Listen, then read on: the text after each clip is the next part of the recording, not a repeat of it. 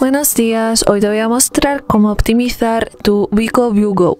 Para hacerlo, busca la aplicación Asistencia Inteligente y entra en, en ella. Hay que pulsar Permitir. Y ahora para optimizar hay que pulsar en optimizar con una tecla. Hay que permitir otra vez y esperamos.